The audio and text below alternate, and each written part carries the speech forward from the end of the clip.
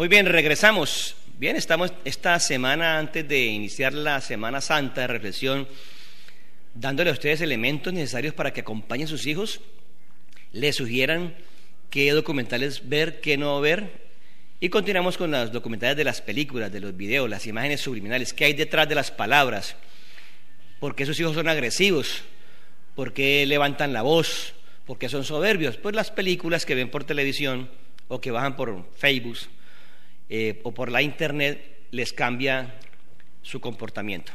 Vamos a continuar mirando imágenes subliminales porque usted lo ha pedido aquí en el canal 2 de Alpavisión. El trabajo de producción lo hizo Javier Mario Andrade en la compañía espiritual hoy de Julián Cabas Bedoya, el Juli, el papito de mi bella genio.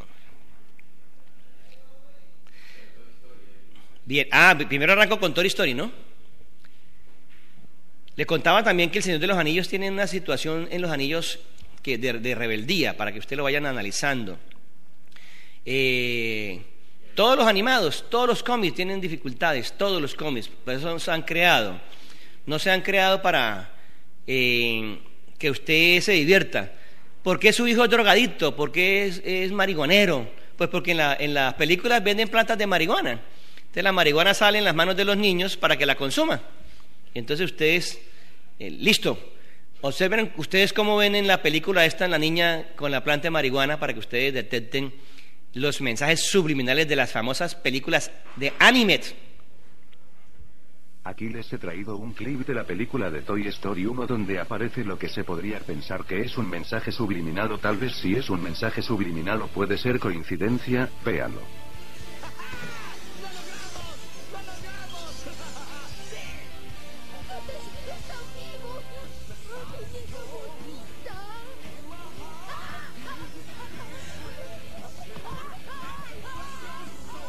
¿Lo vieron?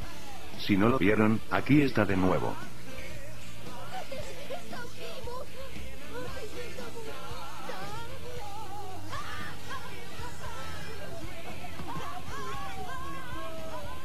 Y si están tan troncos que no lo vieron ahora, vean la escena y se los mostraré. Miren nada más, pero qué curioso, una hoja que al parecer es de marihuana. Pero qué desgraciados al poner eso en una película de niños, con razón hay tanto drogadicto.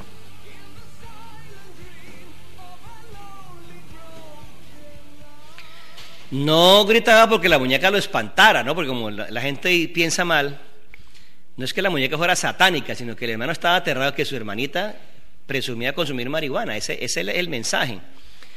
Sin embargo, pues algunos dicen que exageramos en los documentales. Eh, voy a tratar de hacer nuevamente, el año pasado lo hicimos con Julián y Mauricio, traer la, lupa y empezamos a mirar. Voy a, la calle, ¿no? Porque empiezan a vender, ayer lo hicimos en un colegio de Neiva, empiezan a vender collares, aretes. Entonces cogemos los collares y le colocamos la lupa y vemos todos los rostros satánicos, las calaveras que venden, y sus hijos son felices colocándole las pepitas aquí como hippies, y está la cruz al revés, está patas arriba y tiene mensajes subliminales. Voy con el otro, ¿no, gordo? Bueno, eh, los peligros del Facebook. Face rostro, ¿no? Bien, mensajes subliminales en Facebook. En Facebook.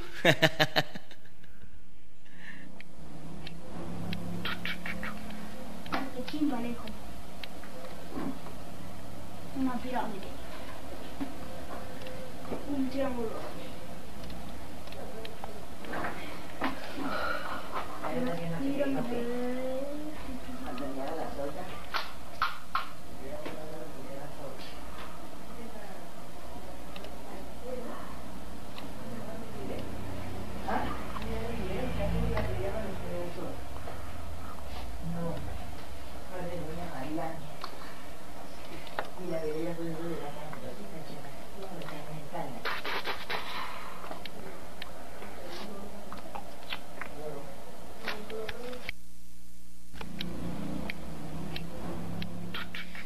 Ayer mostramos en un colegio de Neiva la Coca-Cola, ¿no? Con el respeto de todos. En el hielo aparecen penes y vaginas. Entonces por eso dicen, ¿por qué será que el niño le gusta tanto la Coca-Cola? Porque en la figura de la Coca-Cola, al colocarse la botella, el pico de la botella en la boca, eh, el niño ve en el hielo penes y vaginas. Dice, ay, a mi hijo le encanta la Coca-Cola. Para los que no quieren creer en eso, entonces la Coca-Cola destapa un tornillo, una cañería. Si usted tapa el lavamanos, le echa Coca-Cola y lo destapa. Televidente en la línea, hola. Hola. Hola. Aló. Hola, ¿cómo estás? Bien. ¿Con quién hablo? Con María Irma Ramírez. Muy bien, María, cuénteme. Para el en el programa de Pavención, que es muy buenísimo. Muchísimas gracias. ¿Quiere corte, confesión y arreglo de cabello? Sí, señor. Listo, queda inscrita ya. ¿De qué condominio me llamas? Señor. ¿De qué condominio? ¿De qué barrio? De Guillermo Liébano. Ah, Quintas de Guillermo Liébano. Sí, señor. Un saludito para quién? Para mi esposo que se encuentra trabajando y para mi familia que está en Bogotá. Muchísimas. Garzón.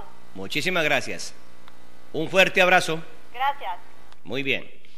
La Coca-Cola entonces también destapa cañerías, eh, los tornillos y listo. ¿Cómo será que usted eh, también cuando tiene problemas de digestión, de diarrea, toma una Coca-Cola y lo tapa?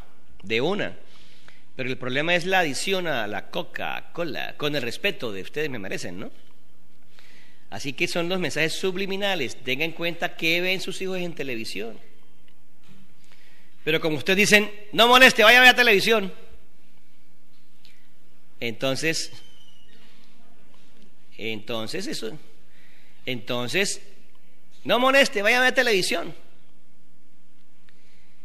Padres de familia, profesores, estudiantes, líderes, cuando vayan a construir un barrio, exijan, eso lo dice el POT, Plan de Ordenamiento Territorial, la zona urbanística, ¿a dónde están los parques de recreación? Señor Héctor Julio Vargas, no me venga a decir que usted contrató, que le quedó mal el ingeniero. ¿Qué pasó con los parques públicos de la ciudad de Neiva? Si hay un columpio por ahí, eh, le damos un ramo de rosas. Un polideportivo bien pavimentado. No hay nada. ¿Qué van a hacer nuestros 120 mil muchachos ahora en vacaciones una semana sin hacer nada? Un polideportivo. Ni para prestar la escuela y el colegio, porque el colegio no tiene polideportivos canchas polvorientos, patios polvorientos, neivas sin profesores, sin batería sanitaria. No son elegantes. Es que los niños dejan el agua abierta, la llave abierta, entonces por eso no tenemos plata. Oye, salen unas cosas. Ahorra energía, es que los profesores dejan prendidos los ventiladores del colegio, entonces por eso no tenemos plata. Se están gastando la plata. Regalías del petróleo para salud y educación, no para el clientelismo ladrón. ¿Qué hacen la plata? Por favor, ¿qué hacen la plata? ¿Qué hacen el impuesto predial? ¿Qué hacen con los comparendos? ¿Qué hacen con la plata? No, es que los niños no quieren el colegio, entonces dejan las llaves abiertas y, cómo hace el gobierno para pagar la del agua. Ay, eso es una elegancia, es un marco teórico que queda uno, mejor dicho, descrestado. Que a la salida del colegio los profesores no cierran el portón, por eso se entran los ladrones. Y en los colegios no hay celadores. La señora del técnico me contaba, me voy con mi marido, mi hijo, mi nieto a barrer el técnico. 25 salones para una pobre mujer barriendo un salón, porque no hay plata. Pero para pasacalles, pancartas, para tamales, empanadas, para reuniones políticas sí hay. Pero para pagarle a una aseadora, para una aseadora que necesita la alimentación, no hay plata. Y entonces que tiene que limpiar el técnico una sola señora para 25 salones, que lo tiene que hacer a las 6 de la mañana, a las 12 y a las 6 de la tarde. No, ¿dónde está la parte humana? Pero para, para bultos de cemento sí hay, para tejas de sí, claro. Oiga, los representantes a la Cámara que se ganan, los senadores ganan 25 millones, van a comprar carros blindados.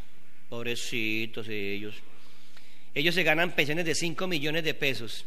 Y a nosotros hay una propuesta para que usted tenga 1.350 semanas y pase a 2.550 semanas. Primero fueron 1.000 semanas, luego 1.100, luego 1.150 y ahora propuesta de 1.350 semanas. O sea que usted va a salir a los 68 años de edad, 68. Oiga, el gobierno se inventó el cuento que el colombiano vive 70 años, que usted vive más que nosotros, la mujer vive más que nosotros, entonces ustedes las mujeres se pensionarán a los 68 años y nosotros a los 70. Ah, no, este gobierno sí es. No, no, no, no. Y con el respeto que me merece, no voy a decirlo bien para que no me malinterpreten. Yo no estoy en contra de las madres de hogares de bienestar. Yo no estoy en contra de eso. Pero miren, hay una propuesta de un político en Neiva que se acaben los preescolares, dice, porque no tenemos plata, y que los niños los pongamos en los hogares de bienestar. Yo no estoy diciendo que sea una cosa mala. Que se acaben los hogares de bienestar porque no tenemos plata y que los niños los mandemos a los hogares de bienestar. Uy, por favor, ese político es muy inteligente. Televidente, hola. Sí, buenos días. ¿Cómo me le va? Bien, gracias. ¿Usted cómo está? Perfectamente. Para felicitarlo y agradecerle todo lo que usted hace por nosotros acá en Neiva. Muy agradecido nosotros acá en la comunidad del barrio Guillermo Liévano. Muchis- ¿Oyó? muchísimas gracias. Sí, señor. Muchas gracias a ustedes. ¿oyó? Va a jugar para el por estar pendiente de nosotros y las necesidades que tenemos. muchísimas gracias. bueno, buen día y muchas gracias. Bueno, un fuerte abrazo. Bien, ¿tenemos mensajes subliminales, Mauro? O si no, un videito que ya tengo los invitados. Gracias por acompañarnos. Estamos en vivo y en directo, carrera sexta, calle 14 a 39, Neiva, Huila, Colombia. Barrio estamos en vivo y en directo. Somos el canal 2, el canal de la Comuna, la Cultura y la Luz. ¿Tengo videos? Listo. Con Giancarlo, ¿cómo llama? Gianluca Quirinali, Italiani Spaghettis, Orgua. Eh, voy a dejarlo con un video musical, ya tengo invitados y ya regreso. Vamos a hablar ahora de sanación. Ya que los políticos son corruptos, ya que se están robando la plata, vamos a, alimentarnos del Espíritu para sanarnos, para poder tener salvación y vivir en paz y tener calidad de vida. Ya regreso con una propuesta de sanación. Vemos ahora.